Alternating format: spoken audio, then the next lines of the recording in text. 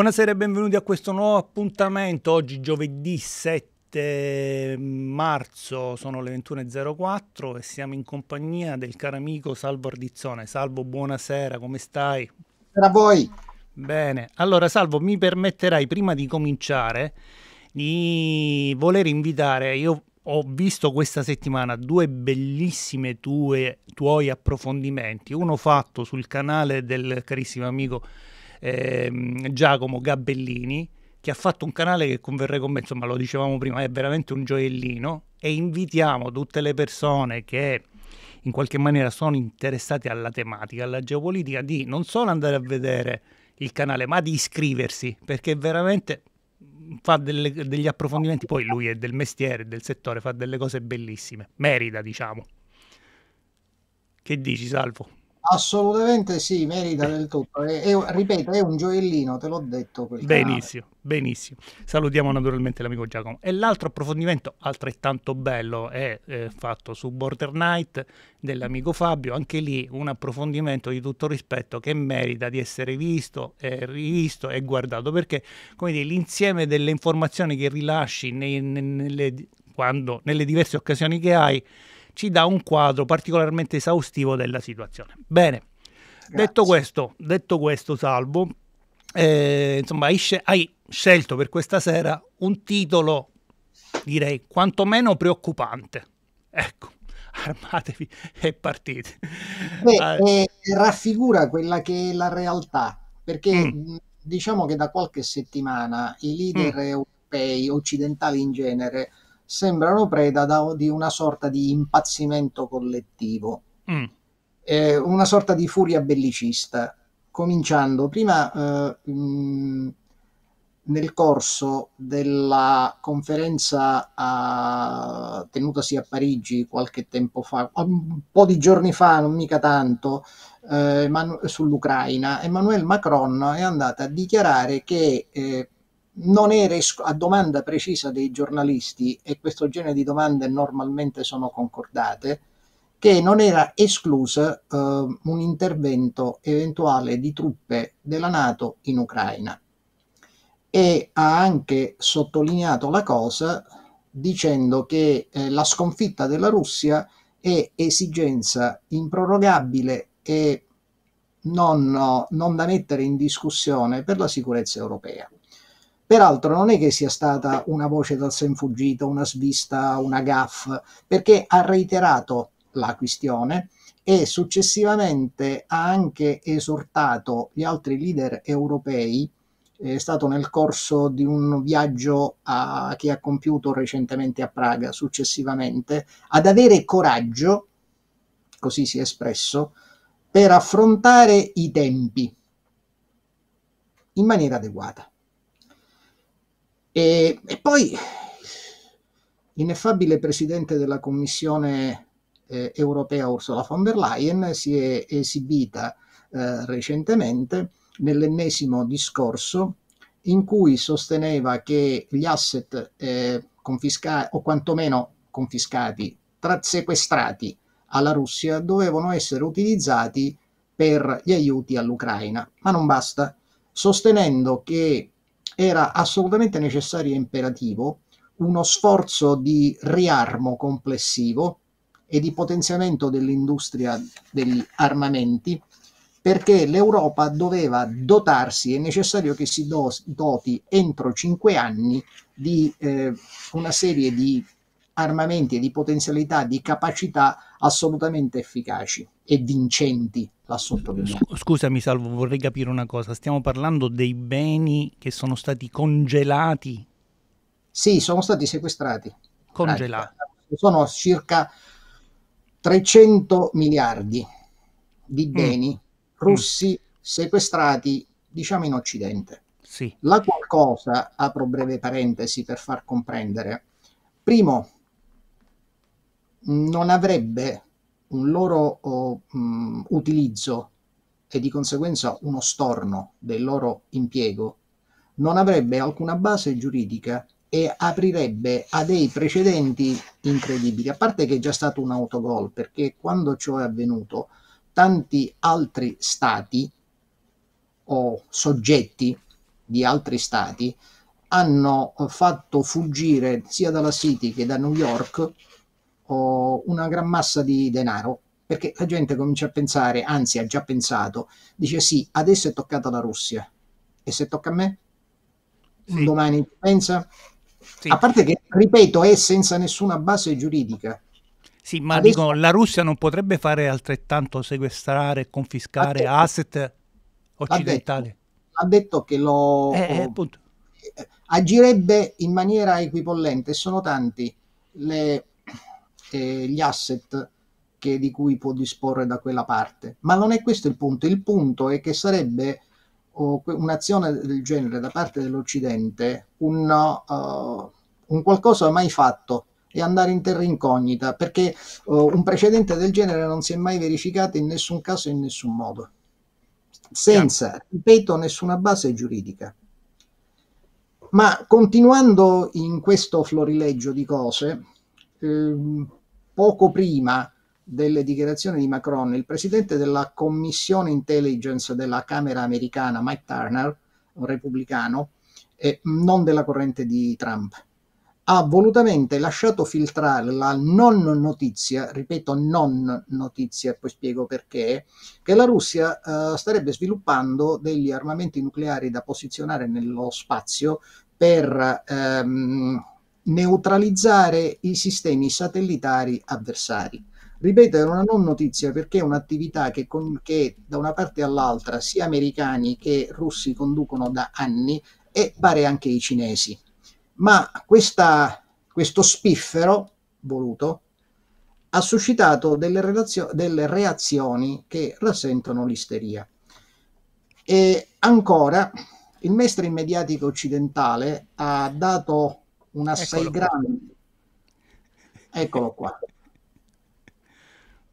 E il mainstream mediatico occidentale ha dato una assai grande rilevanza all'appello votato all'unanimità, all'unanimità dal congresso della Transnistria, con cui la regione separatista eh, della Moldavia eh, è una striscetta di terreno di cui altre volte abbiamo parlato, che eh, si è separata dalla mh, mm, Moldova o Moldavia e, e confina eh, è, ed è schiacciata tra l'Ucraina e la Moldova. E in questo territorio vi risiedono anche dei peacekeeper russi mh, dal tempo di una guerra civile che andò a definire questa situazione negli anni 90. Bene, eh, questa richiesta d'aiuto da parte della regione separatista nei confronti di Mosca ha scatenato un putiferio perché eh, subito i media occidentali hanno paventato la possibilità che la Transnistria fosse annessa alla Russia come già avvenuto con il Donbass, malgrado questo fosse immediatamente smentito sia da parte mh, della Transnistria sia da parte di Mosca. Da ultimo, la stampa, eh, quella italiana si è distinta in questo, ha dato la più ampia rilevanza alle dichiarazioni, diciamo esternazioni, del segretario alla difesa americano Lloyd Austin, eh, che nel corso dell'udienza alla Camera eh, ha dichiarato che a domanda di una deputata ha dichiarato che se l'Ucraina cre- eh, cadrà, credo proprio che la Nato, da sottolineare, la Nato, non gli Stati Uniti, la Nato si troverà in battaglia con la Russia. Del resto, a conti fatti, piaccia o no, la Nato è già di fatto co-belligerante in questo conflitto dall'inizio della guerra, perché oltre a fornire armi e munizioni, è lei che indirizza gli mh, attacchi ucraini con i suoi aerei radar, con i suoi droni, con i suoi satelliti, con i suoi ricognitori, è lei che fornisce l'intelligence e designa i bersagli più paganti, come quelli effettuati a suo tempo sul Moskva, eh, l'incrociatore Moskva eh, eh, nel Mar Nero, e su tutti i bersagli della flotta russa. E per inciso, vedi caso, vedi caso, quasi tutti questi attacchi alla flotta russa corrispondono con le missioni degli, eh, degli RP-9 MQ9 Reaper che partono da Sigonella. perché il tragitto mm. è quello da Sigonella al Mar Nero. Circuitano là e tornano indietro. E, ed è ancora lei che provvede, la Nato, a tutti gli specialisti necessari al funzionamento degli asset moderni, HIMARS e compagnia, ATCAMS e così via, che sono stati cons- eh, consegnati all'Ucraina. E a tal proposito è di pochi giorni fa la diffusione da parte della televisione russa dell'intercettazione di una videoconferenza fra alti ufficiali eh, tedeschi che discutevano del ruolo dei missili Scalp, quelli inglesi, e Storm Shadow, eh, scus, scusa, quelli, Scalp, quelli francesi, e Storm Shadow, quelli inglesi, eh, negli attacchi alle Crimea, in particolare al ponte di Kerch, e della presenza di personale anglo-francese sul campo di battaglia specifico, campo di battaglia non all'interno dell'Ucraina, oltre eh, della possibilità di fornitura di missili tedeschi Taurus all'Ucraina, a cui per specifica e dilungata discussione eh, il cancelliere tedesco uh, Scholz si oppone, uh, malgrado le fortissime pressioni del resto del governo, sia i cosiddetti verdi che i, i liberali tedeschi, e da parte delle cosiddette opposizioni, che sono tutte schierate, il CSU, CDU, allineate e coperte, tranne Alternative for Deutsch e um, Partito della Sinistra, schierate per l'appoggio estremo all'Ucraina. E in questo caso la smentita successiva che è stata fatta dal ministro della difesa Pistorius, che era tirato in ballo direttamente nella conversazione perché si rileva che cerca in tutti i modi di scavalcare Scholz per cercare di inviare quanti più asset possibili all'Ucraina, non è in nessun modo credibile perché evidenze concrete di, di una determinante presenza di forze NATO eh, che collaborano con le, l'esercito ucraino, eh, ce n'è a Iose, di tutte sì. le maniere. Sì, salvo scusami, però questa è, una, cioè, questa è una notizia che merita un, un, attimo di riflessione in più. E anche perché, insomma, ecco, volendo una, per un attimo mettersi nei mocassini di un russo che a memoria ha pagato un prezzo altissimo all'ultimo tentativo della seconda guerra mondiale di invasione tedesca. Ci ricordiamo Stalingrado. Diciamo. Lei per gli altri, eh. che sia chiaro, malgrado quello che si dice in giro, la guerra in realtà l'ha pagata lei sulla sua pelle. Sì, infatti, 25 milioni di morti mi sa, o 26 milioni di morti. Sì. Allora, no, ma io sto, come dire, sto cercando di immaginare cosa può pensare la, la classe media russa delle parole pronunciate da questi militari. Che pensiero si fanno rispetto all'idea che degli altri ufficiali tedeschi stiano progettando attentati con missili al ponte di, della Crimea, il ponte di Kerch. Quindi, no, eh, eh, cioè, qua è, no, quindi è già caduta definitivamente la superiorità morale, etica dell'Occidente, eccetera, eccetera tu immagina che cosa significhi, cosa eh. anzi ha già significato mm. l'invio di carri tedeschi contro sì. i russi. Certo, certo. certo. Va bene, Leopard che eh, nella stampa russa è uscito di tutto di più in ricordo di quello che è accaduto tempo fa. Sì.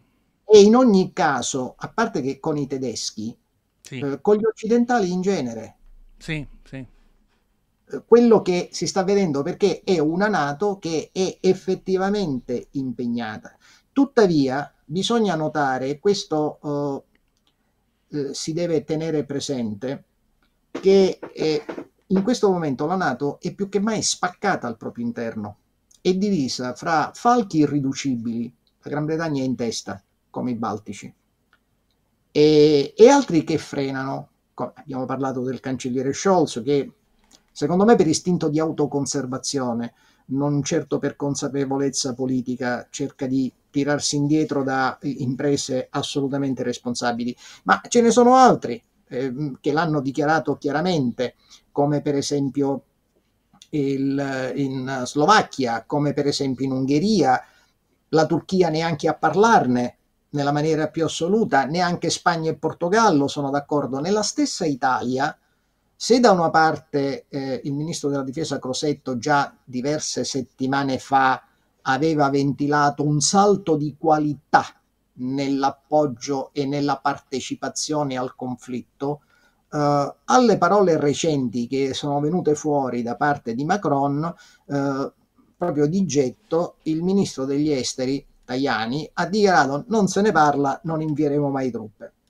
Ora, a tutto questo ribollire, il eh, presidente Vladimir Putin ha risposto molto duramente nel, il 29 febbraio nel corso del, del suo discorso all'Assemblea federale, durante il quale ha dichiarato senza mezzi termini che l'Occidente ha smantellato il sistema di sicurezza che garantiva la pa- poteva garantire la pace, aprendo rischi che avvicinano tutti a un possibile conflitto nucleare che sarebbe la, semplicemente la fine dell'umanità. E non solo, ha soggiunto che le forze eh, nucleari strategiche russe sono pienamente pronte. Operative, sì. E operative. Con ciò, peraltro, parentesi, dando una mh, perfida frecciata e anche più agli inglesi, perché eh, gli ultimi ehm, test sui missili Trident sui missili a testata nucleare Trident per i sommergibili inglesi e anche eh, impiegati anche dagli Stati Uniti sono miseramente falliti.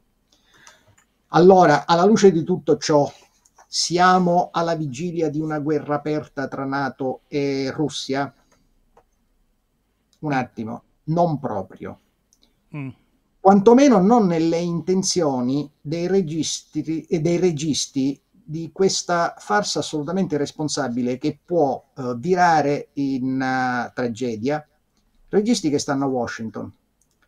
E per comprenderlo dobbiamo guardare a quanto è avvenuto e avviene in queste settimane. Cominciando il 17 febbraio, Abdicca è caduta, concludendo una battaglia che è iniziata a ottobre dell'anno scorso. Ora, la sconfitta ucraina va abbastanza più in là della semplice caduta di una roccaforte pur importante che era pilastro della difesa ucraina fin dal 2014. Perché? Perché ha consumato materiali e primariamente uomini di cui gli ucraini hanno un estremo bisogno e carenza. La cocciuta difesa di una posizione ormai compromessa e indifendibile, eh, fortissimamente voluta da Zelensky per uh, motivi propagandistici, del tutto propagandistici, ha, ha, sacrificato in maniera assolutamente inutile reparti e ha esaurito anche quelle le poche riserve disponibili, causando uh, nella fase della finale della battaglia un collasso repentino, una ritirata ca- caotica. I russi hanno avvicendato i reparti che hanno partecipato agli scontri molto duri che ci sono stati nella fase finale e adesso stanno premendo contro i reparti ucraini logorati e eh, a corto di munizioni e mezzi, avanzando nei paesini che sono dietro la città per evitare che la difesa ucraina riesca ad ancorarsi al terreno eh, a trincerarsi.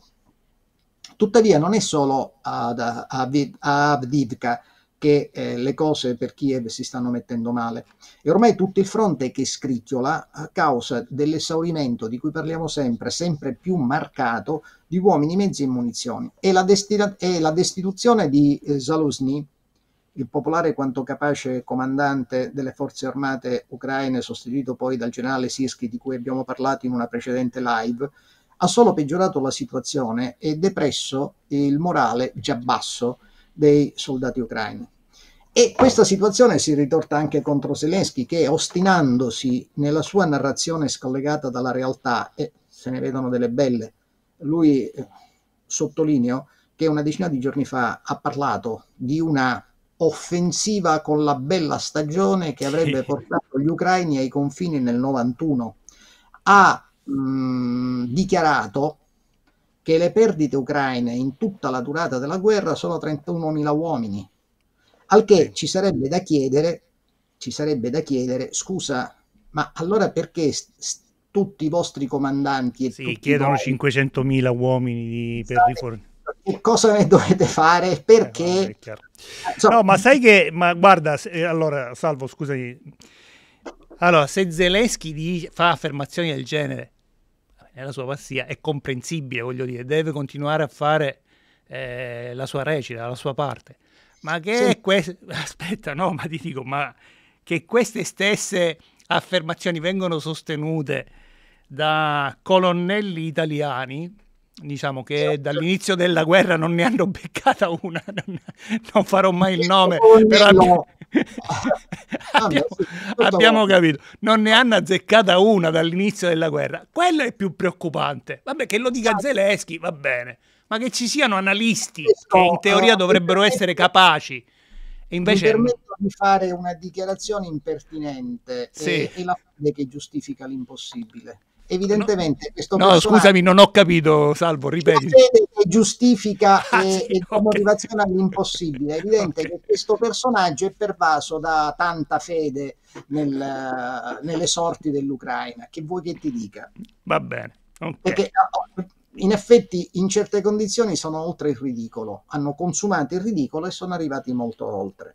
Mm, e tutto ciò ha finito per far mettere a Zelensky la firma su un disastro che può, attenzione, replicarsi altrove. Perché raggiunto eh, il punto di rottura che è ormai vicino, perché badate, eh, lo, lo, ripetiamo da tante, tante live, eh, molti dicono, ah ma tutto sommato questo, mh, queste grandi avanzate travolgenti non ci sono. Vero, perché questa non è una guerra di movimento, ma è una guerra di posizione che si vince logorando l'avversario. Esattamente come nella prima guerra mondiale, eh, logorando, logorando, logorando, alla fine fu oh, la Germania che di fronte all'arrivo degli americani, le risorse che c'erano stavano mettendo in campo gli Stati Uniti, determinò il collasso dell'esercito tedesco. È così che si determina questo, non dall'acquisto del territorio. E eh, le linee ucraine a un certo punto, se arrivano al punto di rottura, potrebbero cominciare a collassare in assenza, appunto, lo diciamo, sia di riserve che hanno consumato inutilmente, sia di mezzi via via distrutti o messi fuori servizio e di munizioni che sono in tangibile esaurimento. Tuttavia, a, a chiarezza, per evitare che qualcuno pensi che di qui al mese prossimo le colonne russe marcino su Kiev, non è così. Eh, a quanto pare, da tutto quello che si evince, sembrerebbe che al momento la Russia non abbia nessuna intenzione di assestare un colpo oh, decisivo, malgrado la propria, almeno per adesso, malgrado la propria forza man- manifesta e la ma- altrettanto manifesta debolezza dell'avversario, e ciò per molte ragioni. La prima è che entro fine mese le operazioni offensive dovranno cessare per il fango. Già in alcuni punti sta cominciando a manifestarsi. E, e il fango là paralizza tutto. Sì, sì, la stagione del fango sì, è tremenda. La, la seconda è che i russi stanno preferendo, almeno così sembra, esaurire gli ucraini sfruttando la loro superiorità nell'artiglieria, nei missili, nell'utilizzo dell'aviazione che adesso negli ultimi tempi hanno cominciato a usare intensamente, molto intensamente, proprio per la speculare diminuzione della contraerea dei missili a difesa contraerea ucraina e per cui preferiscono eh, esaurirli in questo modo piuttosto che spendersi in una grande offensiva che potrebbe rivelarsi costosa. Ah, questo anche perché sembra che gli ucraini abbiano sostanzialmente finito le armi di contraerea. Non è che le hanno finite del tutto, credimi. Eh, eh, ci sono, eh, spiegaci per, per capire. Allora, gli invii, mm. eh, così come stanno facendo con Israele e gli americani, mm. tieni conto che ehm, gli Stati Uniti hanno fatto oltre 200 invii di mm. materiale negli Stati Uniti, anche se ne hanno certificato ufficialmente al congresso 4. 4, 1, 2, 3, 4.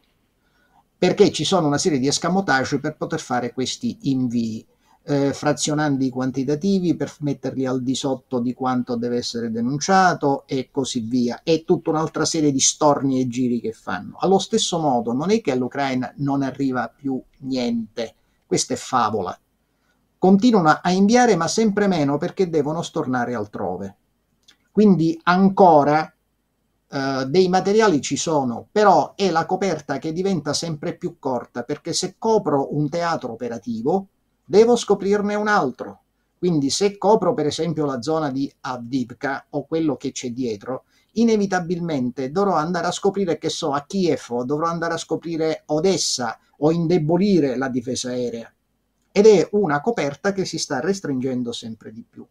Ora, i, in ogni caso, anche sotto l'aspetto della, dell'artiglieria, eh, si vede che per 7, 8, 10 colpi che sparano i russi, gli ucraini sono costretti a tirarne uno o due se ci riescono. Per cui è evidente che si trovano in condizione di come il pugile che è messo all'angolo si chiude e prende a incassare. Ora, i governi occidentali sono assolutamente consapevoli della situazione, gli Stati Uniti per prima, ed è là che si sta svolgendo il dibattito essenziale che gira attorno a una domanda, cioè fino a quando prolungare la guerra? Ed è una domanda che diventa sempre più impellente per due ordini di ragioni. La prima è la campagna elettorale, che sta minacciando sempre di più una sconfitta clamorosa per i democratici. E badate, non più e non tanto per la questione ucraina, che negli Stati Uniti, piaccia o no, è tutto sommato abbastanza secondaria. Non vogliono che ci si spenda troppi soldi e vorrebbero sapere a che profitto, ma mm, sono nell'elettorato democratico sto parlando. Quello che sta cominciando a fare la differenza e può creare problemi grossi è invece eh, la questione Gaza. Ed è significativo che eh, in tutte le eh, si sono svolte martedì scorso, si è svolto il, uh, il giorno delle primarie, il grande giorno, il grande martedì. Ebbene, in tantissimi stati, eh, tra le, eh, gli attivisti democratici nelle schede, si, si, è arrivato fino a sfiorare il 20% di soggetti che si sono dichiarati non schierati cioè si, dicendo sì io sono democratico ma non voto per te Biden o non voto per te eccetera per la tua posizione che stai assumendo. Quindi soprattutto in tutta una serie di stati chiave queste posizioni belliciste assunte dall'amministrazione americana stanno preannunciando eh, un disastro elettorale, un possibile disastro elettorale, che con l'uninominale che ce l'ha anche con una differenza relativa può configurarsi. E di conseguenza eh, è agganciato il secondo motivo a queste elezioni perché non subito un tracollo ucraino ma con la bella stagione e quindi spostando in avanti andrebbe a verificarsi a ridosso delle elezioni eh, un collasso ucraino trascinerebbe con sé l'attuale amministrazione e chi gli sta vicino.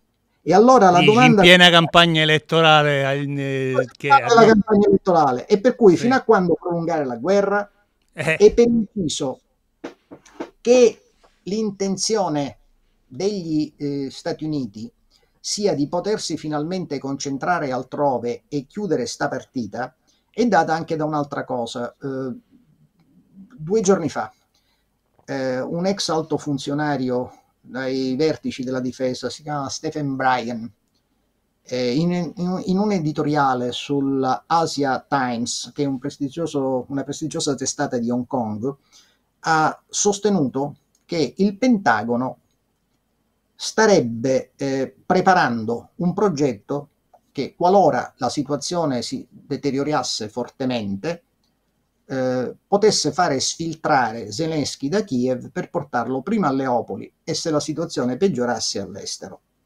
Ed è, sarebbe una situazione che, secondo Brian, dovrebbe, dovrebbe dare la giustificazione, aprire a un intervento diretto dei paesi NATO, paesi NATO. Ancora una volta non si parla di Stati Uniti, ma che gli Stati Uniti si mostrano estremamente frustrati alla mancanza di consenso politico nei paesi europei a una tale prospettiva, meno che mai a un consenso popolare. Ora, tirando le somme, tralasciando Biden, che nei fatti è visibilmente assolutamente irrilevante, all'interno dell'amministrazione americana ci sono sempre state nei confronti di questa guerra due anime. Una che è rappresentata dal Pentagono e dai militari in genere, eh, sosteneva che realizzati i due obiettivi principali di questa guerra suscitata dagli Stati Uniti, e ovvero sia eh, staccare la Russia dall'Europa e ricondurre l'Unione Europea sotto lo stretto controllo degli Stati Uniti, eh, si doveva chiudere la partita ucraina come che sia e concentrarsi sull'Indo-Pacifico, sulla Cina. Una necessità che negli ultimi mesi è divenuta sempre più impellente per lo, per lo scoppiare della nuova crisi medio orientale. Per cui se già prima lo vole, volevano andarsene per una ragione, ora questa ragione si è elevata a potenza. L'altra eh, diciamo, fazione cordata che è capeggiata dal segretario di Stato Anthony Blinken, intendeva portare avanti il confronto fino all'ultimo ucraino, ovvero nel tentativo di esaurire la Russia. Una fazione che negli ultimi tempi ha prevalso nettamente, causa anche il manifesto visibile indebolimento di Lloyd Austin nel capo del Pentagono. Perché? Perché da tempo è in assai precarie condizioni di salute a causa di un tumore.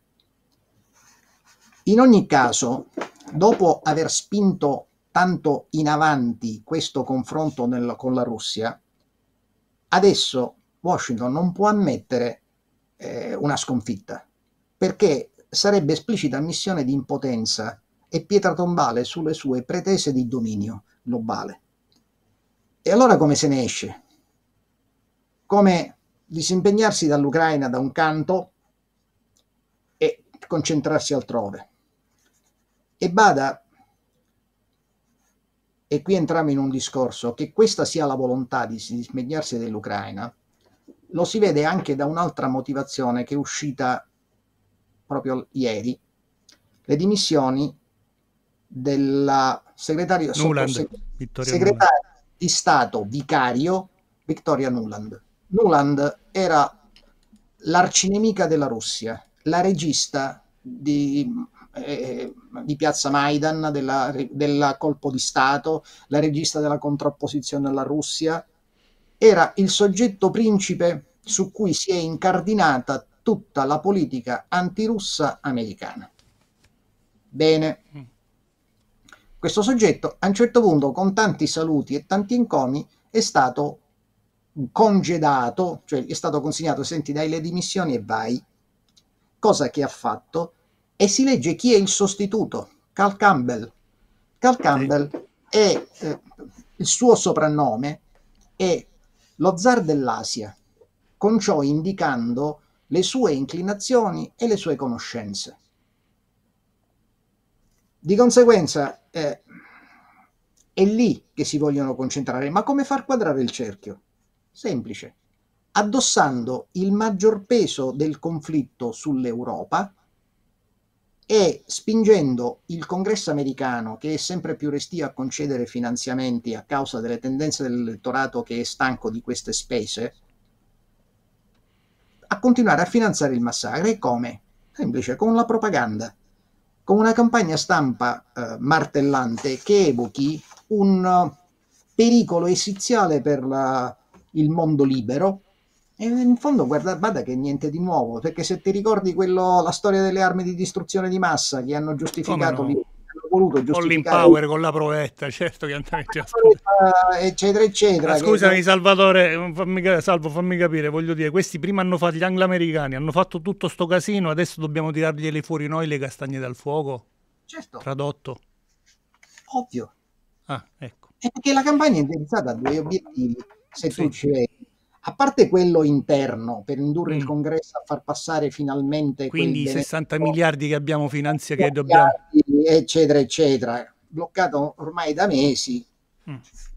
e come evocando un grande pericolo per uh, la sicurezza nazionale americana mm. l'altro è creare una psicosi di paura in Europa, un clima di paura, per la minaccia dell'orco russo che il mainstream rappresenta un giorno sì e un giorno pure, come in procinto di invadere uno Stato dietro l'altro fino a Lisbona. Sì. Tutta, tutta per cui dobbiamo farlo per salvarci. Ma sì. bada bene che il fine, da quello che circola sui think tank e altro, non è una vittoria sulla Russia. Non ci pensano neppure, lo sanno benissimo che se lo scordano. A Washington non ci crede nessuno, tantomeno al Pentagono. Ma è giungere, riuscire a giungere a uno stallo che apra trattative.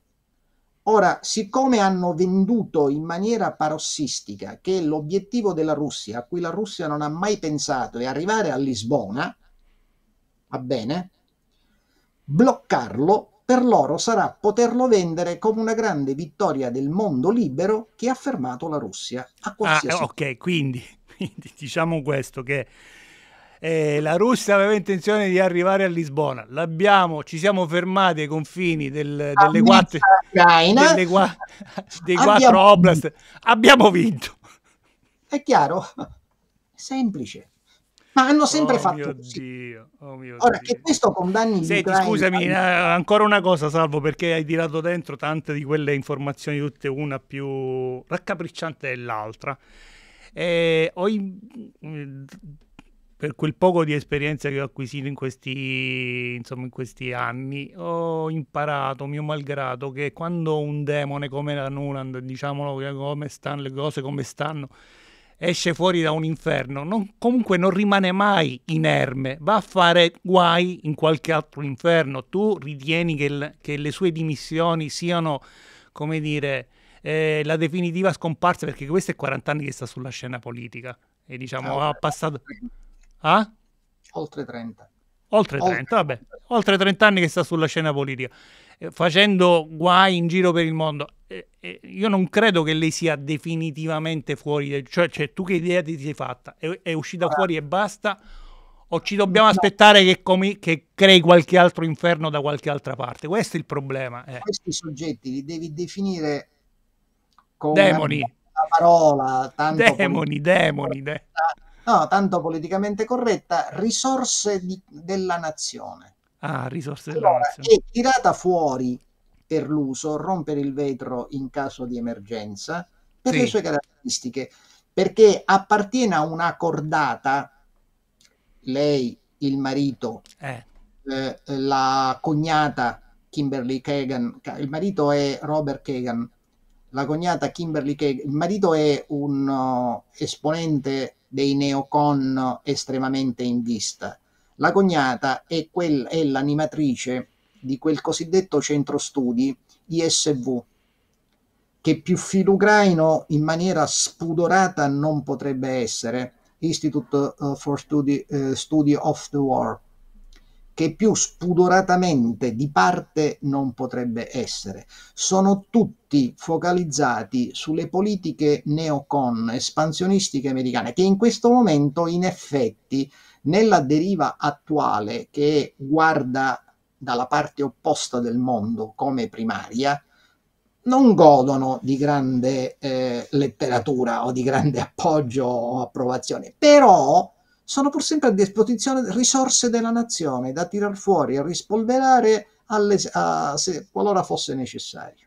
E lo saranno sempre. Purtroppo. Ora, in tutto questo, che, gli Ucra- che decisioni simili condannino gli ucraini al massacro e l'Ucraina alla totale distruzione, non importa niente a nessuno. E meno che mai ai vertici di Bruxelles, che sono del tutto scollegati dalla realtà pronti? No, anzi, prontissimi ad accettare qualsiasi cosa pur di compiacere Washington, eh, anche di avere un buco nero alle porte di casa, di svenare le proprie economie, peraltro avviate a crisi manifesta, pur di eh, riarmarsi, avviare un programma di armamenti, perché fa specie pensare eh, quella signora a Bruxelles parlare di investimenti per centinaia di miliardi come il PNRR, centinaia di miliardi da buttare in armamenti, quando la situazione degli stati europei dal punto di vista sociale, dal punto di vista economico e da mille altri punti di vista è quella che è. Sì, l'economia in Germania l'hanno massacrata, l'industria in Germania è frantumata, letteralmente frantumata. Si è automassacrata, ha scelto di automassacrarsi sopportando in silenzio l'insopportabile, vale a dire vedersi distruggere i due gasdotti sotto il naso da parte di sedicenti alleati senza proferire un fiato. Sì. Sì. Vedersi imporre eh, legami con i, e blocchi con i suoi clienti primari, a cominciare dalla Cina, vedersi spingere all'autodistruzione senza manco rendersene conto, o quantomeno perché non ci stanno.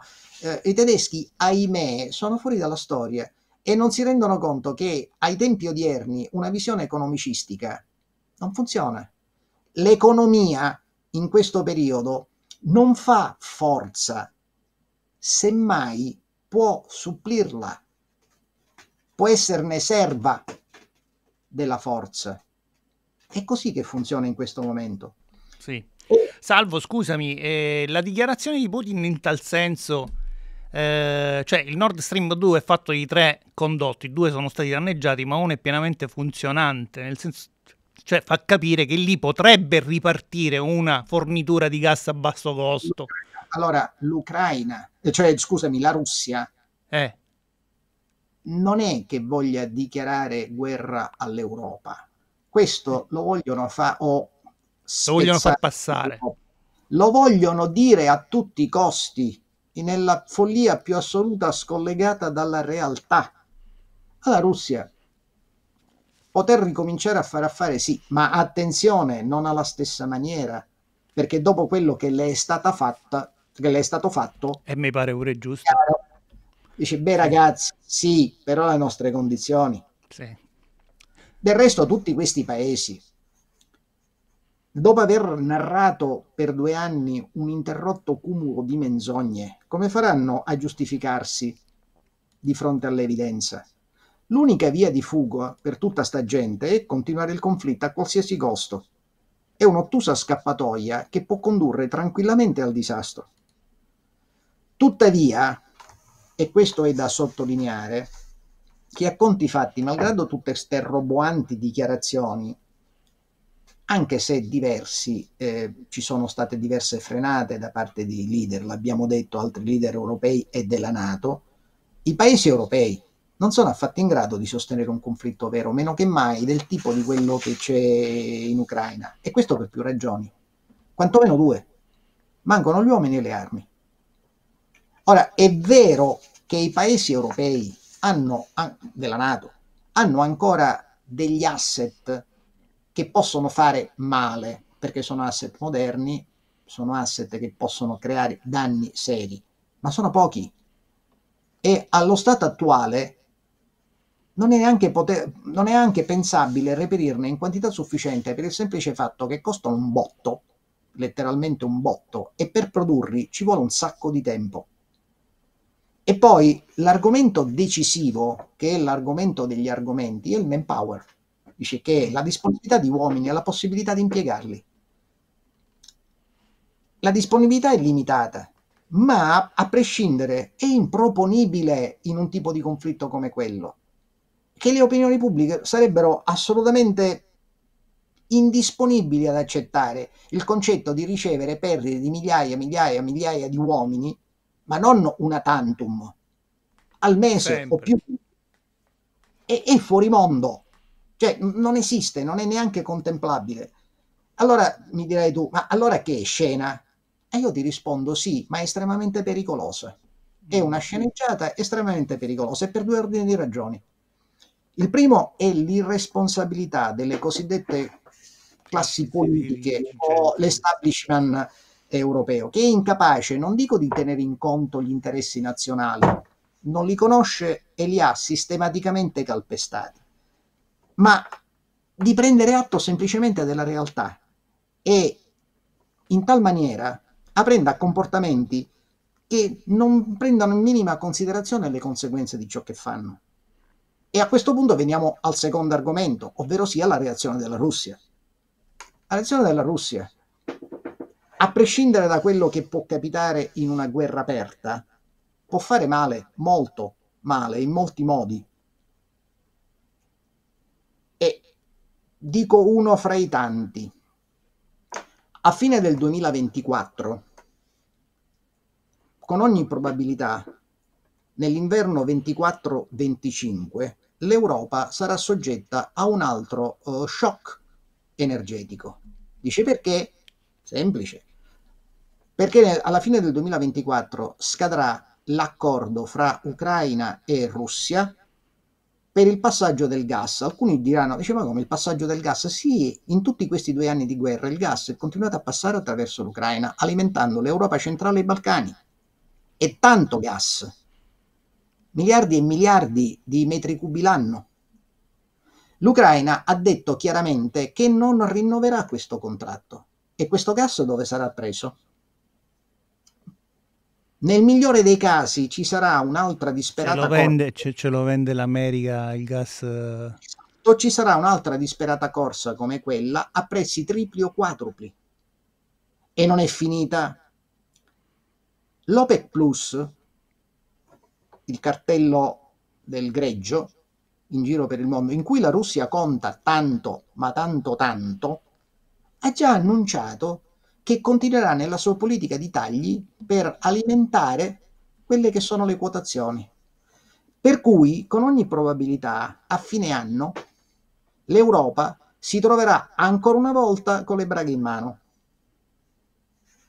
E se noi restringiamo il discorso all'Italia e all'importanza che per l'Italia, all'Africa, nei Balcani, la politica energetica, Mosca può recarli infiniti più danni di, quei, di quanto quei signori a Roma possono anche soltanto immaginare. Del resto, l'attuale governo... Ma sempre ha... noi ci andiamo di mezzo, Salvo. Assolutamente sì. Ma l'attuale governo, molto più che i precedenti, che già si distinguevano per servilismo, eh, si sta puntando tutto sul, nel farsi il servo più zelante di Washington con ciò legandosi mani e piedi a un egemone in manifesto declino e inimicandosi tutte, ma dico tutte, le realtà emergenti. E non parliamo soltanto della situazione della guerra in Ucraina, perché facendo un breve passaggio andiamo a vedere che il governo italiano è in Medio Oriente che sta dan- dimostrando il peggio di sé. Perché? Perché appoggia apertamente un genocidio considerato tale sia dalla Corte Penale Internazionale che dall'ONU, che non è stato condannato semplicemente per i seriali e continui conseguenti degli Stati Uniti. Ha troncato i finanziamenti con l'URWA, l'Agenzia per i rifugiati palestinesi, su esplicito ordine di Israele, senza che ci fosse uno straccio di prove delle accuse mosse. Ha ignorato del tutto questa cosa recente, anche anche semplicemente per stigmatizzarlo, ha ignorato del tutto la strage di Rachel Street, dove 118 poveri disgraziati sono stati ammazzati e 700 feriti sono, sono, sono stati resi tali, invalidi, massacrati, eccetera, dagli israeliani mentre aspettavano i convogli degli aiuti per portare qualcosa alle famiglie che letteralmente morivano di fame. Letteralmente muoiono di fame. Mm. E, e poi i nostri so... media grandiosi promu- promu- promulgavano la mh, mm, barzelletta che molti di questi erano mol- morti per la calca, schiacciati dalla folla. Il peccato eh, che ci sono le riprese. Sì, sì infatti. infatti. Dei droni. Sì. E questi sono solo alcuni dei comportamenti semplicemente inqualificabili posti in atti da Roma, ma non basta. Il 2 marzo il cacciatorpediniere Caio Duilio della nostra marina, della marina italiana, ha abbattuto un drone yemenita, con ciò qualificando definitivamente l'Italia come paese ostile allo Yemen e chiudendo al naviglio italiano il Mar Rosso, che fino allora sì. era aperto. In questi giorni il Duilio assumerà il comando dell'operazione Aspides, ufficialmente nata fra alcuni paesi europei per garantire una libertà di navigazione nel Mar Rosso che la resistenza yemenita non aveva mai messo in discussione per chi non fosse diretta a Israele o non si dimostrasse ostile spalleggiando Israele. In questa maniera noi ci siamo qualificati. E bada bene, era un blocco che sarebbe comunque cessato l'istante successivo cui, in cui a Gaza fossero cessati i massacri e cesserebbe. Allora in questa maniera l'Italia si è posta accanto manifestamente ai carnefici dei palestinesi, mettendo a rischio i, pro- i propri traffici vitali, sì. perché da, dalla, da Suez passa tra il 40% e il 50% del nostro traffico in entrata e uscita, e tutto questo per obbedire a Washington e Tel Aviv. Attenzione, in questo momento le industrie italiane su input del governo, i cosiddetti campioni nazionali, a cominciare da Leonardo, continuano a intrecciare rapporti relazioni future, Dio solo sa, auguri a loro, con uh, le aziende israeliane. In questo momento l'ENI sta stringendo accordi, ha stretto accordi per sfruttare il gas eh, al largo di Gaza, palestinese e così via ma se pensano di poterci riuscire tranquillamente, beh, gli reitero gli auguri. È una scelta di campo che l'Italia sconterà amaramente per contra- perché si sta contrapponendo frontalmente a quelli che sono i nuovi equilibri che stanno manifestamente sorgendo nel mondo. Che dire, a parte il giudizio morale su un comportamento che personalmente non esito a definire vergognoso, rileva l'autolesionismo di un gruppo di potere che per legittimarsi e trovare appoggi eh, presso chi ritiene ancora più forte e io domanderei fino a quando non esita a calpestare non solo gli interessi nazionali ma a ipotecare anche il futuro della nazione. Allora, Salvo, va bene, come al solito, insomma, ci hai fatto un quadro abbastanza eh, terrificante ma esaustivo della cosa. E a me piacerebbe, questa sera tra l'altro ho visto qualche domanda, te la, te la rigiro subito, che con gli amici da casa potessimo fare qualche approfondimento, qualche ulteriore eh, riflessione da parte loro da sottoporre alla tua attenzione e vedere un po' che cosa hai da dirci in merito. Ricordiamo che lo potete fare inviandoci degli audiomessaggi o dei videomessaggi al numero 353 35 15 604, vi potete collegare con la nostra piattaforma di Telegram, ma soprattutto vi potete sbizzarrire mandandoci qualche messaggio sulle piattaforme di YouTube, sulla chat box di YouTube o di, mm, WhatsApp, o di mm, Facebook, insomma siamo in diretta da, su entrambe le piattaforme. Allora, detto questo, l'altro giorno hai visto che quell'attacco gli UTI hanno rimodulato i loro attacchi colpendo i cavi che passano sotto il Mar Rosso e procurando un blackout di, del 25% del traffico di Facebook, Instagram allora, e Messenger. Allora, allora sentiamo. Sì. È, in primo eh. luogo, non è assolutamente certo e definito, anche se hanno detto subito che sono stati gli UTI. Tieni okay. conto che in quell'area, proprio in quello stesso posto, sì. la, la, carga inglese Rubimar, sì. che poi è affondata, sì. ha gettato le ancore a strascico perché lì c'è un fondale abbastanza basso, sono meno di 100 braccia. Sì. E allora ha gettato le ancore profonde per cercare, a strascico per cercare di fermarsi, di ancorarsi e sistemarsi per non andare alla deriva. Sì se ha gettato questo e ha arato il fondale, eh, certo, può darsi che... Chiaro. Quei cavi, sai quando sono spessi quei cavi? Sì. Uh, hai idea? Un tubo. È un tubo da 17 mm a 25 mm ognuno sì, di quelli. Quindi è niente. niente. Se tu hai il fondale con un'ancora come quella... Sì, vabbè, lo strappi tranquillamente, non c'è problema, chiaro. Sì, sì, il fatto è che e che a questo punto, fatto il danno, adesso quelli dicono, beh, e adesso riparatelo qua davanti. Provateci. Sì, sì, sì, sì. Allora, c'è...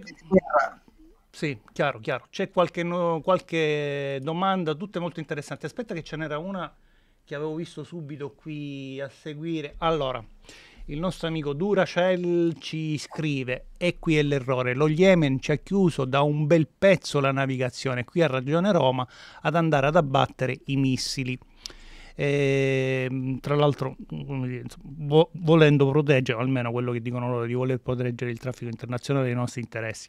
Detto questo, però, vi volevo fare riflettere su un'altra cosa. Questo tipo di operazioni comporta eh, un, uno squilibrio per quello che riguarda l'impegno economico che è stratosferico, perché di droni navali lo Yemen ne può avere uno scatafascio a un costo irrisorio, cioè 4, 5, 10 mila euro, non lo so adesso quanto costa uno di questi barchini.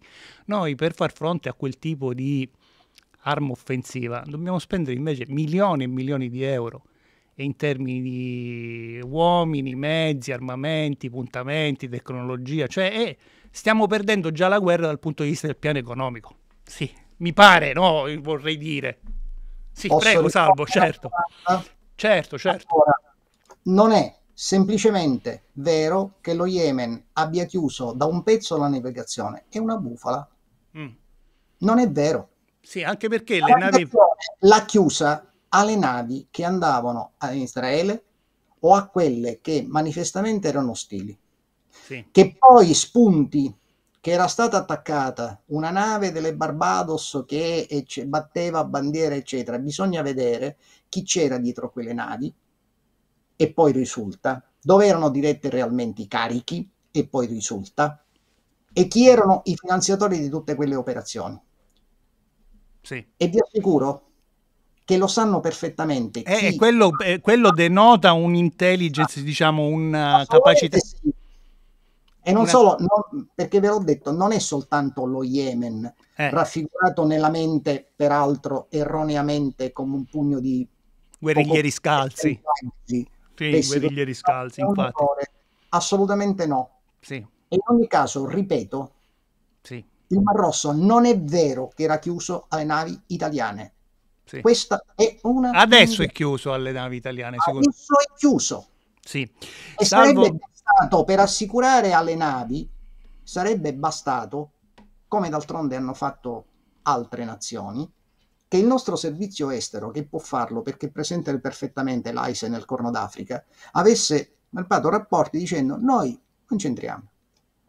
Ma visto che hanno scelto di stare con Israele e con gli Stati Uniti, si configurano come ostili. Va bene.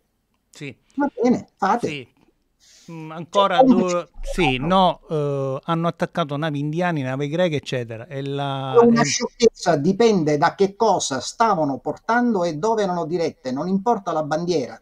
Certo. Dipende dove andava il carico. Certo, certo. A chi era diretto. Certo, certo. Stesso, chiaro, chiaro, perché la loro posizione è insomma la, la pisiana, cioè se eh, qualunque mezzo in qualche maniera può portare sostegno, commercio alle economie israeliane, per loro è nemico. Eh, punto, non basta. solo, non solo. Sì. A questo punto anche del naviglio delle nazioni che sì. si dimostrano ostili.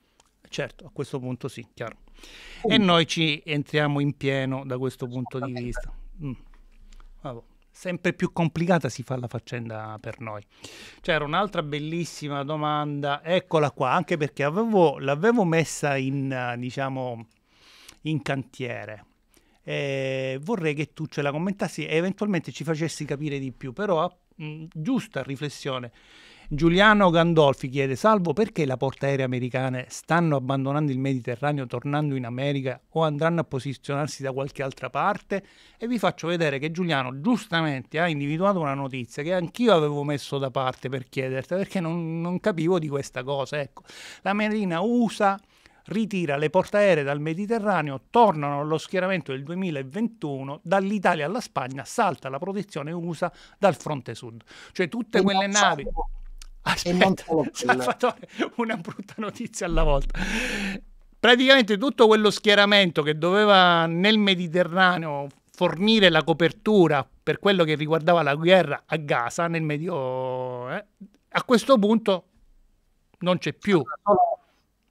Allora, Fammi, facci capire perché è complicata qua la situazione. Ecco. spostato sì. due gruppi di, d'assalto di portaerei, mm. della Gerald Ford e della mm, l'altra non mi sto ricordando. Una, due gruppi d'assalto di portaerei. Sì. Più il, mi pare che fosse il quattordicesimo, uh, il gruppo d'assalto della porta elicotteri uh, Batan, sì. con il gruppo di Marines al seguito. Bene, la prima portaerei è rientrata. Sì. La seconda portaerei rientrerà adesso sì. e il gruppo d'assalto della Batan andrà via a fine marzo. Perché? Per due ordini di ragioni. Eh, gli schieramenti di questo tipo di unità possono durare per un numero limitato di mesi, perché loro erano già in missione quando sono state dirottate lì. Quindi il loro impiego operativo, che dura in circa sei mesi di imbarco di missione continuata, poi deve interrompersi perché devono fare determinate manutenzioni, perché devono fare determinato tipo di attività interna, cioè non possono protrarlo all'infinito. Cosa teoricamente avrebbero potuto barra dovuto fare qualora avessero ritenuto eh, l'area eh, assolutamente da presidiare. Spostare un altro o altri gruppi d'assalto di portaerei, gruppi da battaglia di portaerei o gruppi d'assalto anfibio in sostituzione. Non ci pensano neppure. Mm. Non ci pensano neppure per tutte le discussioni che abbiamo appena fatto fino ad, fino ad ora.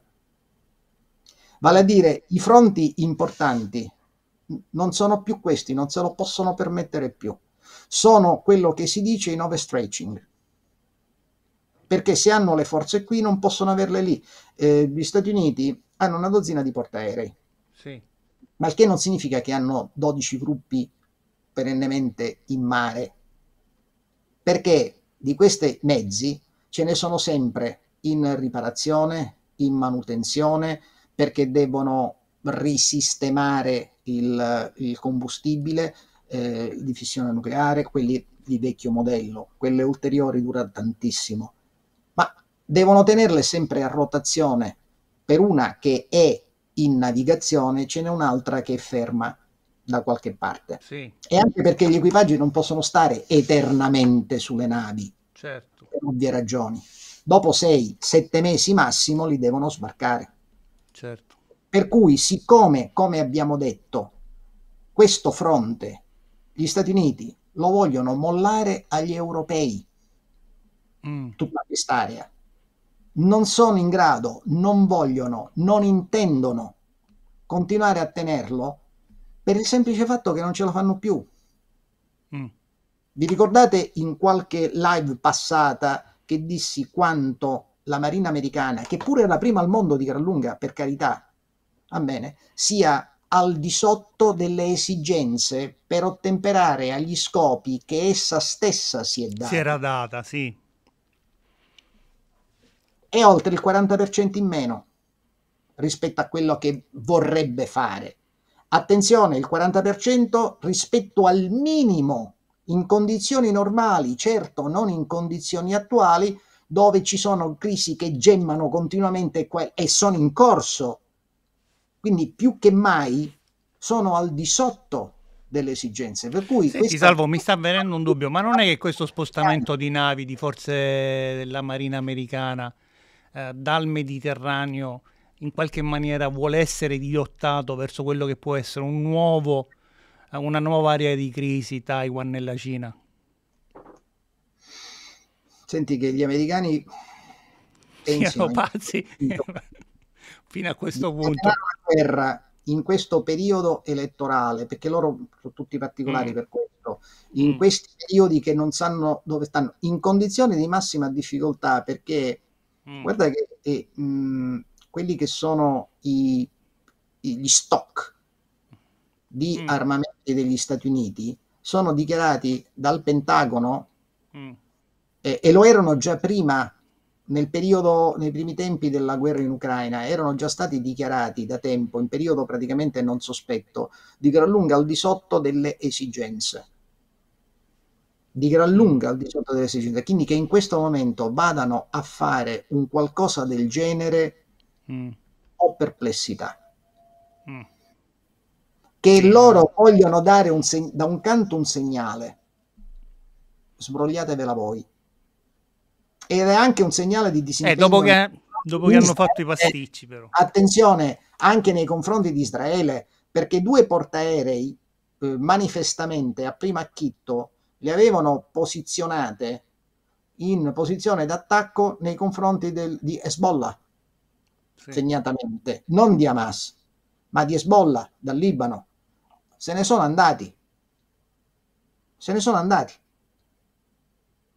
E questo la dice lunga anche nei confronti degli attacchi di Prosperity Guardian, perché quando se ne vanno le portiere americane, sì, vabbè, continuano a dire ce le facciamo arrivare dal Kuwait, ce le facciamo arrivare dal Kuwait, dalla, dal Qatar, li facciamo arrivare da qua e da là. Possibile. Peccato che gli costano un botto per 13 volte di più. Mm. Quindi mh, mm, sì, certo, mostreranno bandiera, diranno noi siamo sempre presenti, ma nella sostanza il segnale è più che chiaro. Mm. È un settore da cui necessitatamente si devono e si stanno disimpegnando, lasciando le castagne sul fuoco a noi europei, chiarissimo. Perché ce le siamo voluti prendere, eh? No, noi, i, govern- i, dire, i governanti. Eh, noi europei intesi come... Non i popoli europei, le ah, classi no, dirigenti europee, questi, questi, questi squinternati eh, mentali. Ahimè, servi. A cascata, a cascata certo, finisce sulla gente. Certo, chiaro, chiarissimo. Allora, Salvo, ci sono tantissime domande. Eh, proviamo, vediamo a rispondere velocemente, così magari accontentiamo molte persone. Allora, Vediamo, uh, volevo chiedere al signor Ardizzone se è vero che l'Ucraina ha fondato 27 navi russe nel Mar Nero. Ovviamente io penso di no. Non esageriamo. Non ha fondato sì adesso. Allora, è sì. vero, è vero, adesso non ricordo quante, ma che la flotta russa del Mar Nero sì. ha avuto numerose perdite. Ha avuto, se non ricordo, almeno tre navi da trasporto anfibio, ha avuto oh, diverse corvette e diversi pattugliatori, anche perché la flotta del Mar ha avuto l'incrociatore Moskva, anche perché la flotta del Mar Nero non è che fosse una flotta enorme o in ogni caso dotata di mezzi molto performanti, molto grandi, sì. perché mh, negli ultimi anni eh, da quando è stata ristrutturata la Marina russa, ha puntato, devo dire anche saggiamente, invece che su grandi navi, su eh, naviglio più sottile, cioè corvette, pattugliatori, eccetera, che però può fare male perché è dotato di missili balistici di vario tipo eh, molto efficaci. Per cui ha avuto perdite, ma soprattutto perdite, ripeto, non, perché la Marina ucraina non esiste. No, niente, infatti non esiste più, è stata dist- quel poco che aveva è stata distrutta nei primissimi giorni. E, e la Sergei Kotov è appunto una corvetta, una piccola corvetta per giunta, non una grande corvetta, è una piccola corvetta, poco più che una cannoniera, diciamo in termini attuali. Diciamo, e tutti questi sono stati colpiti, proprio questi, da uh, droni navali. Eh, che si muovono praticamente a pelo d'acqua e, ed è assai difficile andarli a identificare. È quello che mi chiedo sempre io, se ci dovesse essere una, un attacco multiplo da parte degli UTI con droni navali di questo tipo a mezzi militari italiani, come la mettiamo? Perché poi gli otto colpi di cannoncino non bastano a fermare tutti, eh? uno sciame per esempio di droni. No, se decidono di fare male, seriamente, com- bada che navi... Tutta ave- quell'apologia sul capitano, sul comandante della nave, Caio Duilio, insomma. Userei delle parole poco, poco diretta in tal... In un, gio- un, giorno faremo perdere le staffe a salvo, che è sempre così compito. Dei termini anche perché semplicemente... Mm. Veramente ridurre in pagliacciata una cosa che può essere seria, sì. anzi lo è sì. Oh, eh, per dire, ehm, il Caio Duilio, peraltro, sì. eh, fa parte, è un cacciatorpediniere della classe Orizzonte, che non è neanche, è, non è un, un rottame, tutt'altro, sì. ma non è neanche allo stato dell'arte. L'ultima cosa. Lo stato dell'arte sarebbe stato distaccare le frem. Sì. C'era la Martinengo, c'era la Fasan e altri. Sono delle fregate eh, di progetto estremamente avanzato. Il problema è che queste fregate non dispongono di missili che dovrebbero avere antiaerei, gli Aster 30. Perché? Sì. Perché in tutto l'Italia ne ha poco più di 60. Sì. Perché il resto di quei pochi che avevamo abbiamo avuto la geniale idea di darli agli ucraini. E come al solito stiamo, stiamo, andando a fare la campagna di Russia senza noi senza scarpe. noi senza scarpe. Ortaggi. Ne abbiamo, mi pare 63, una cosa sì. del genere. Comunque meno di 70. Sì. In tutto missili Aster 30. Sì. Eh, per cui là che cosa ci andava a fare? Al che ci hanno mandato questo, che è più mm. vecchiotto, sì. eh, augurando che non debba eh, sostenere un attacco massiccio a Sciame perché se questo capitasse sì. tornerebbe con i buchi nella... Se torna, se torna, se torna. È abbastanza grande, voglio dire, comunque quindi sembra una nave piuttosto grande, robusta, mm. eccetera, ma bei buchi sì. E speriamo di no, speriamo di no. Speriamo di no, speriamo di no, speriamo che non succeda. Tieni conto che le navi americane hanno incassato militari mm. americane hanno incassato diversi colpi in pieno, cui, su cui si è steso pietoso velo. Sì, no, Salvo, vedi qual è la cosa? Io non è che allora io non vorrei vivere sulla speranza che non succede. Io sono arrabbiato perché eh, la nostra classe di governo ci ha messo in queste condizioni. Assolutamente a rischio. E non era non era necessario, non era necessario. Per essere cinici, va bene, a me non interessa eh, che stanno ammazzando a migliaia le persone a Gaza. Non me ne frega niente, io voglio pensare soltanto al mio interesse. Va bene. Non lo, sta, non lo stiamo e allora dice a questi, senti, non me ne frega niente, io non c'entro. Dice, passa.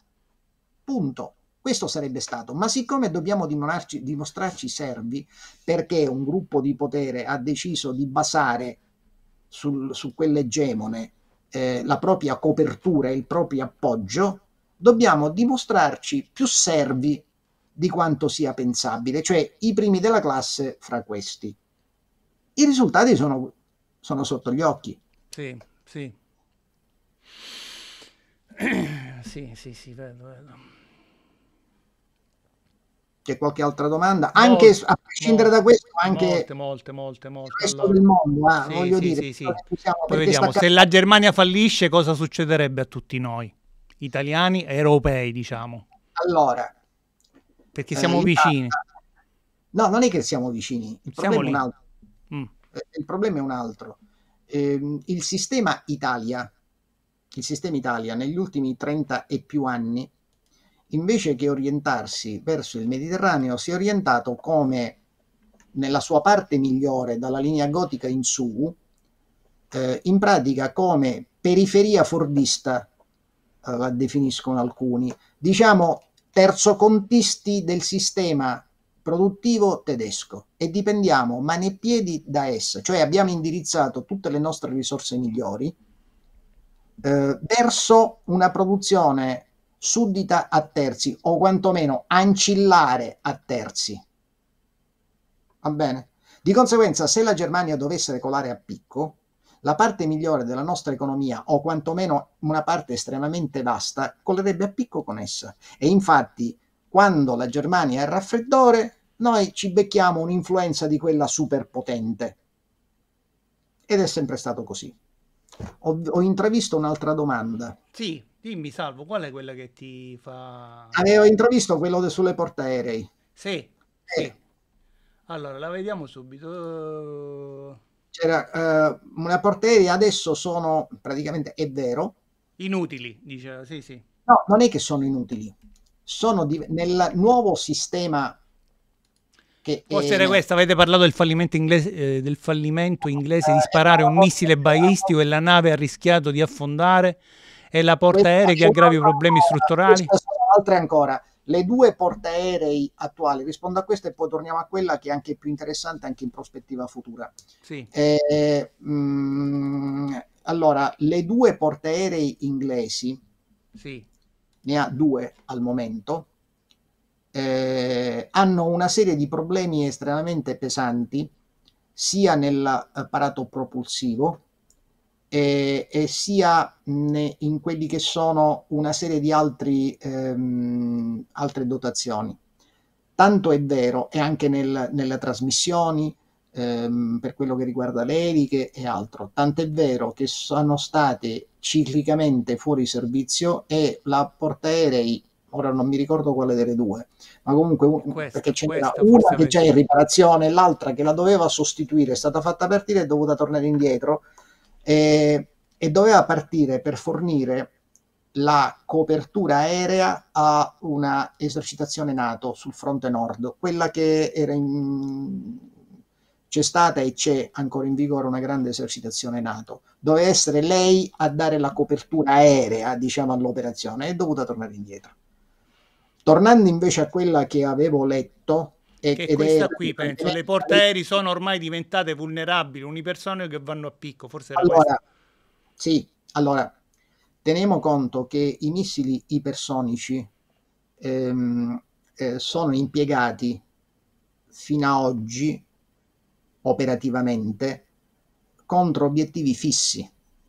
Una portaerei per definizione non lo è, ma già sono stati sperimentati da parte della Cina e pare anche dalla Russia, che sono i due leader per quanto riguarda questo. Adesso è andato anche l'Iran ad avere ipersonici, missili ipersonici effettivi. Gli Stati Uniti ci stanno provando ancora, non ci sono riusciti, ma perché c'è tutto un discorso molto lungo da fare, non perché sono scemi o più scemi, assolutamente no, c'è tutto un altro discorso da fare, il perché non hanno puntato su queste tecnologie, perché non si improvvisano dall'oggi al domani eh, hanno e stanno sperimentando anche l'attacco su eh, bersagli mobili come navali. Qual è il problema? Che eh, le porterie è diventato un bersaglio estremamente pagante per qualsiasi attacco. Per cui con un colpo in pieno, chiaramente deve essere un colpo di un adeguato sistema d'arma, perché una bomba anche di 500 kg sì, gli farà un po' danno, certo, ma insomma non più di tanto. Perché sono bestioni, le portiere americane sono bestioni da 115.000 a 120.000 tonnellate. Sono cose enormi, super corazzate, hanno dei ponti ipercorazzati, eccetera. Ma dei missili di un certo tipo, mm, ci sono dei missili eh, cinesi che sono definiti proprio eh, eh, killer carrier, cioè studiati proprio per attaccare le portaerei. Ed è evidente, ed è anche il motivo per cui gli americani si stanno chiedendo se continui a valere la pena di eh, puntare tutto sulle portaerei. Tant'è vero che i cinesi che avevano cominciato a produrre portaerei si sono fermati. Ah, esatto. Cioè, sì, sì. Comple- completeranno anche la quarta per avere mh, mm, mm, dei gruppi di battaglia pari, per poterne avere due fuori e due in uh, riparazione, in manutenzione e altro. Dopodiché stanno ripensando se ne valga la pena di esporre bersagli così paganti nelle condizioni attuali c'è tutto un ripensamento per quello che riguarda... Sì, perché diciamo i droni hanno completamente cambiato l'idea di come affrontare un conflitto, se poi sono marini o aerei. Attenzione, non è semplicemente il concetto di drone, perché quando noi pensiamo al drone vediamo l'aeroplanino piccolino... No, no, no, droni, droni, missili, il Poseidon immaginavo io per esempio. allora, eh, allora adesso, adesso c'è il concetto di Loyal Wigman, Loyal Wigman che cosa è? È, immagina un altro aereo grande quasi tanto quanto l'aereo madre che in stormo di sì. 4, 5, 6 viene coordinato e diretto dall'aereo madre che se ne sta dietro. Quando tu metti avanti 3, 4 di questi aerei che arrivano un attacco simultaneo di uno sciame di aerei, a cui si aggiunge un ulteriore sciame di altri droni che possono essere inviati sì. da altre No, no. Qualsiasi sistema va in tilt, chiaro. Si satura, nel senso che non, anche se ne può prendere contemporaneamente 40-50, si saturano le difese certo. e cominciano a essere bucate. Per cui ne vale la pena, la domanda è questa e stanno discutendo proprio su questa ragione. Sì, chiaro, chiaro.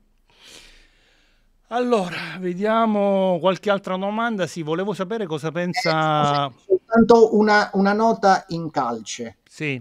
L'idea di continuare da parte del, eh, di tante marine, anche l'Italia ne ha due attualmente praticamente, anche se una è una nave d'assalto anfibio, eh, la Trieste, in pratica trasporta un salto anfibio, perché c'è sempre reticenza a usare certi termini, ma in realtà è quello, e l'altra è una portaerei. Il motivo per cui sono state fatte tutte queste navi è per il concetto di proiezione, anche perché è, è vero che non tutti gli avversari sono ad un certo livello. Il problema qual è, soprattutto in un mare come il Mediterraneo? Il problema qual è? Che determinate tecnologie ed è stato dimostrato proprio dalla guerra d'Ucraina in poi, sono divenute sempre più diffuse.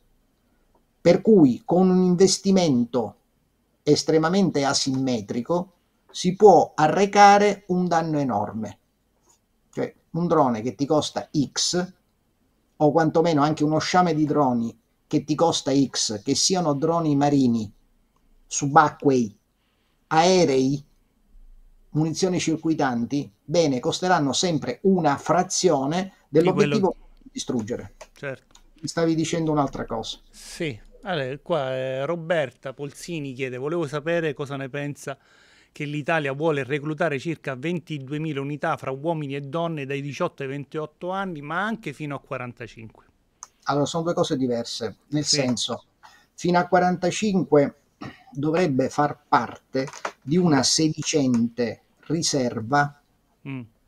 attiva mm. Eh, e non è stata mai de- finora definita come deve funzionare. Qualcosa del genere in realtà c'è l'ausiliaria, ma è una risibile cosa che non serve a niente, serve soltanto a spendere bei milioncini, mm. che per tradizione continua a essere mantenuta. Mm. E allora il concetto di riserva cosa ne fa? Cioè uno come c'è in Inghilterra, come c'è in Israele, come c'è anche in altri paesi, anche c'è in Svizzera, ci sono in altri paesi che mh, a secondo dei ruoli diversi, perché certo il 45enne non viene adibito al servizio attivo effettivo, come sono costretti a fare invece in Ucraina per carenza di personale in questo momento ma normalmente non verrebbe dedicato a quello, verrebbe dedicato ad altre funzioni, liberando personale da quei altri servizi per fare il servizio attivo. Allora, eh, dovrebbe essere, perché in un'implementazione è prevista un'implementazione di personale, anche perché in Italia, l'abbiamo detto, ma non solo in Italia, tutti i paesi europei hanno uh, un problema, hanno definito degli eserciti estremamente piccoli e estremamente professionali, pensati per quelli che erano le operazioni dei decenni scorsi nel periodo unipolare americano, per andare al seguito quelle operazioni che so andare in Iraq, andare in Afghanistan, andare, piccoli gruppi snelli, molto agili, per niente dotati di capacità per affrontare un nemico da pari a pari perché si pensa di andare contro guerriglieri, eh, che non sono usabili in un conflitto convenzionale, reale, come quello che è in corso in Ucraina e si sta dimostrando anche in altri lati, perché anche un conflitto come quello che c'è a Gaza, un esercito di quel genere, cioè come nostro, squaglierebbe in pochissimo tempo, a prescindere dal discorso delle perdite o altro, dalla capacità di incassare perdite, squaglierebbe. Per cui una riserva, un, vogliono ampliare questo. In Italia c'è un problema ulteriore, molto grave, tipico italiano. L'età media è estremamente alta. Eh, a differenza di altri eserciti, un po' in tutti gli eserciti si sta verificando questo, è anche una, dif- una difficoltà nell'arruolamento, ma l'età media è estremamente alta in Italia, per cui tra le forze armate il segmento che possono realmente eh, dedicare all'attività, come dire, eh, in, sul campo è un segmento estremamente ridotto, squilibrato. Ecco perché servirebbero uomini, uomini giovani, che certo non ci mandi eh, il 45enne e il 50enne sul campo di battaglia, ci mandi il trentenne, 25enne, trentenne. Allora, non mi mandano sul campo di battaglia a questo punto, ma temo che mi mandano la lettera per pagare la multa di altri 100 euro perché non ho aderito in qualche maniera ai loro scopi. Va bene. Allora, vediamo qualche altra domanda che erano tutte molto interessanti. Ecco, uscire dall'Europa e dalla Nato ci aiuterebbe a pensare finalmente solo ai fatti nostri? È una cosa che scusami, è una cosa che predico da sempre, che sana cosa sarebbe concentrarsi su quelli primariamente che possono essere interessi nazionali in un ambito, perché non siamo soli nel mondo, ci sono anche gli altri, quindi concentrare dove stiamo in relazione a che. Però dico anche due cose. Lo slogan uscire domani dalla Nato e dall'Europa mm, è uno slogan ma è uh, uno slogan semplicemente irrealistico perché dopo oltre 70 anni di aver impostato tutti i nostri trattati, politiche estere e tutto il nostro establishment impostati in, in, una maniera per obbedire prima a Washington e barra Bruxelles, suo scudiero, struttura ancillare, prima ancora che a Roma, prima si dovrebbe preparare e si può fare a poco a poco. Perché io non capisco per quale ragione al mondo. Chiaro, si può fare, ma non dall'oggi al domani, questo ci stai dicendo. Ma attenzione, sapendo, dici, io devo arrivare lì a venire fuori da, sto, da, da, da tutta questa situazione e comincia a fare i passi.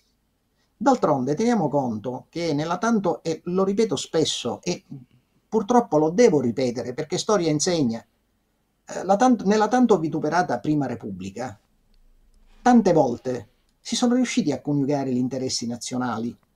Poi, come declinati al, all'interno dell'Italia, altro discorso è, ma gli interessi del sistema Italia rispetto come indipendenza da questo, cercando di afferire a quelli che potevano essere le, le, gli interessi dell'Italia rispetto all'Europa, alla Nato e, e così via, agli Stati Uniti, è stato fatto tante volte in passato e negli ultimi decenni che c'è stato uno scivolamento progressivo e spaventoso in un servilismo spettacolare che in altri tempi sì c'era perché sempre questo siamo stati da 75 anni ma non assolutamente a questo livello di negare e calpestare sistematicamente gli interessi nazionali.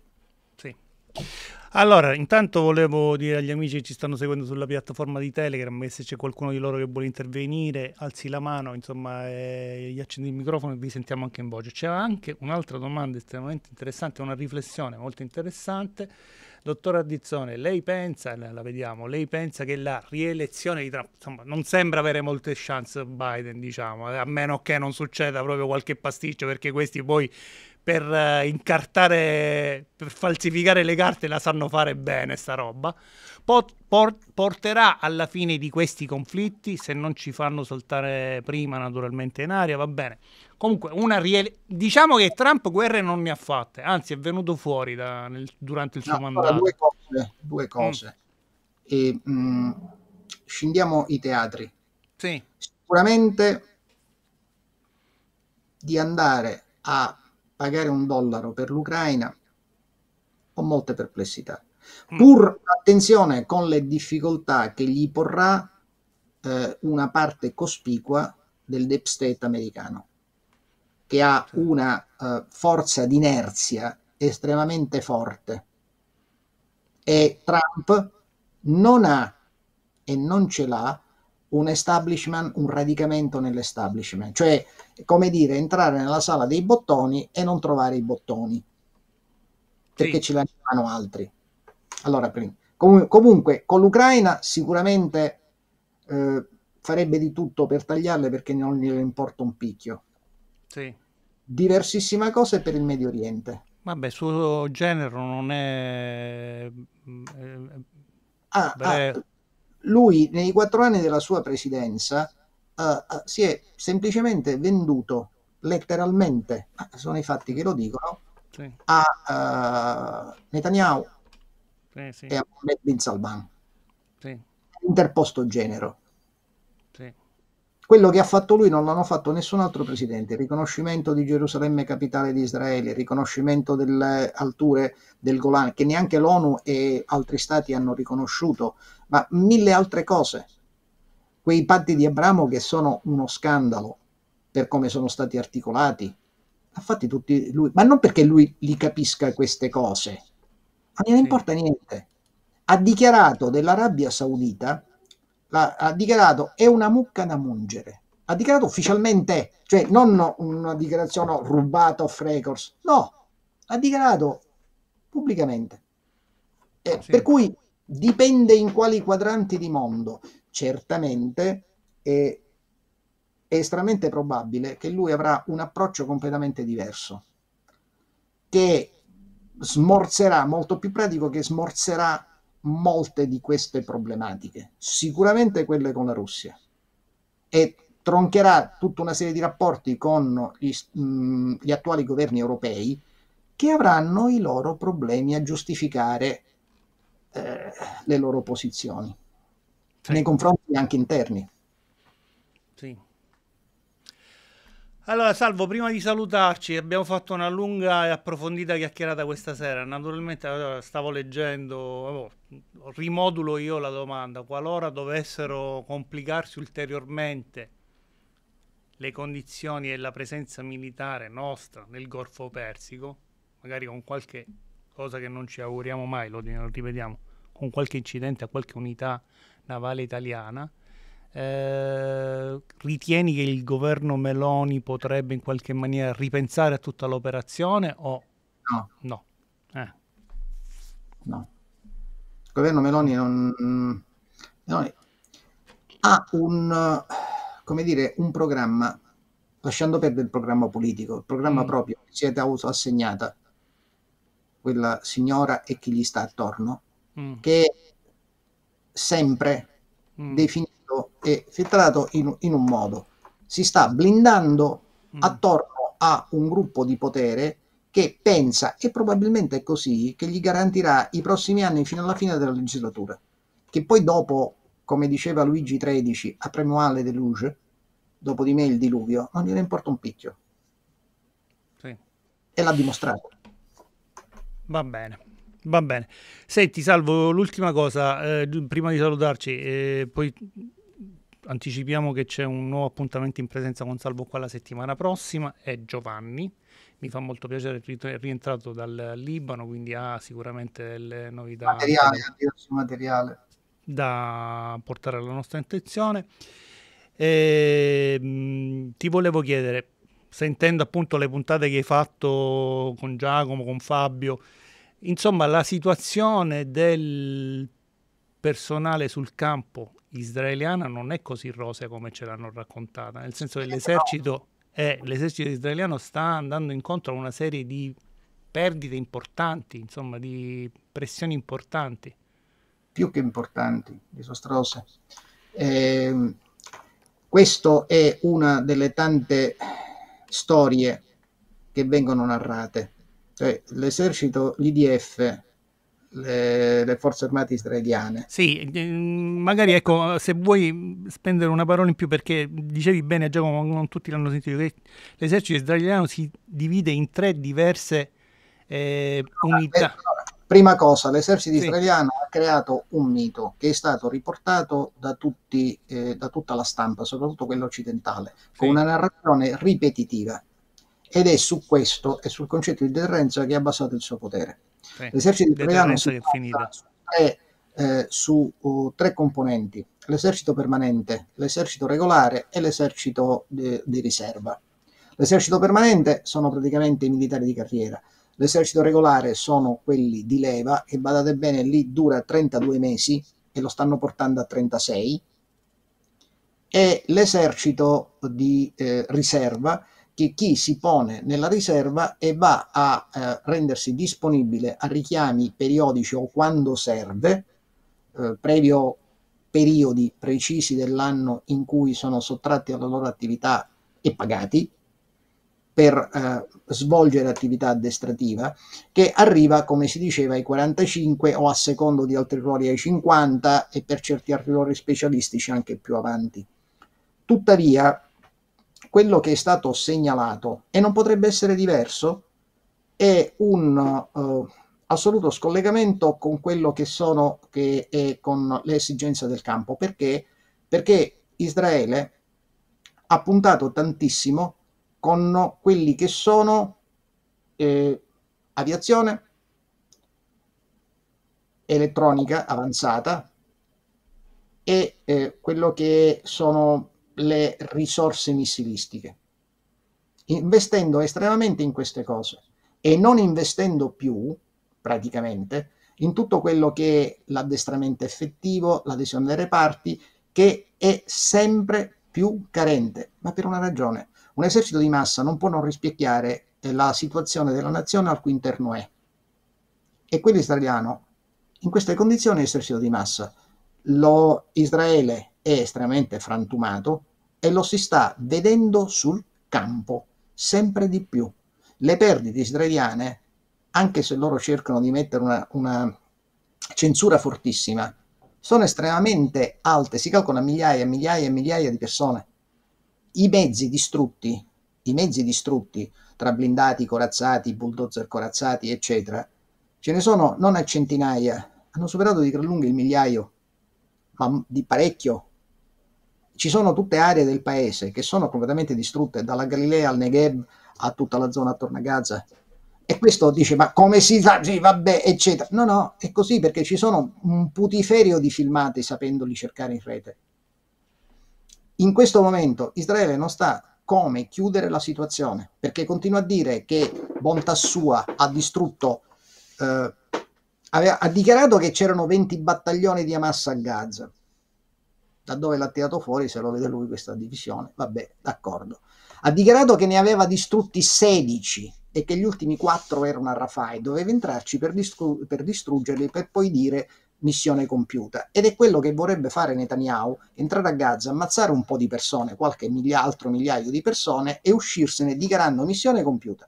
Tenete conto che in questo momento nel nord della striscia di Gaza, dove hanno cominciato l'attacco cinque mm. mesi mm. fa, mm. ancora nel nord, mm. Hamas non solo c'è, non solo spedisce eh, missili su Askelon, su Sderot e altre città circostanti, ma attacca costantemente l'esercito per un semplice fatto, perché i, i tanto conclamati